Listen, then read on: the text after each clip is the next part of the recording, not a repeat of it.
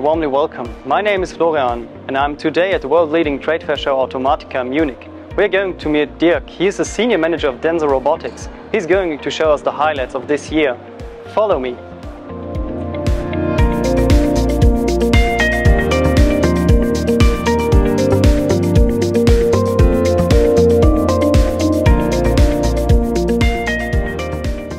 Hi Dirk, nice to meet you. Hi Florian, nice to meet you.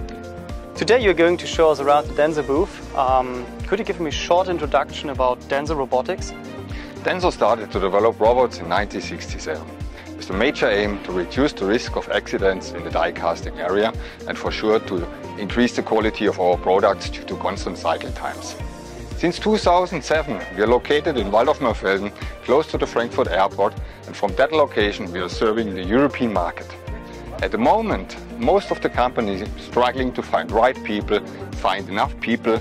Let's go to our booth, see how we are able to support our customers. Thank you. I'm Really looking forward. Florian, let me introduce you to Carsten, our product manager. He will guide you around the booth and show you the latest news from Denso Robotics. Hi Carsten, nice to meet Hi you. Hi Florian, nice to meet you. So, that's the new COBOTTA PRO, Carsten. I've heard so much. That looks so impressive. Please, what are the benefits of this one? Yeah, we are really proud of our new COBOTTA PRO family. It combines the productivity of an industrial robot with the safety of a cobot. And that means it has an outstanding performance of up to 2.5 meter per seconds. On the other hand, it comes with the easy to use programming and operation possibilities like direct teaching, like uh, visual programming. So this is the addition to our COBOTTA we have since 2018 and it really fulfills all that what we are looking forward for the collaborative robot market. So, what's the next highlight, Carsten? I can I guide you to the next highlight. Perfect. Yeah.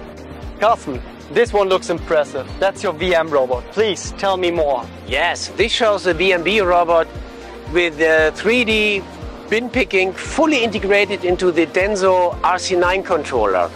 And with the algorithm and the deep learning that is included in the software, it makes the 3D bin picking more reliable and easy to use for everybody.